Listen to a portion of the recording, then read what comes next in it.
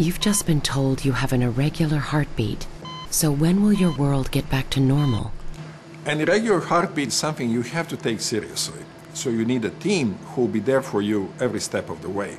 With the newest drugs, the latest surgical techniques, people who can monitor how you're doing in every moment, even after you go home. Where do you find people like this? Start at mainlinehealth.org.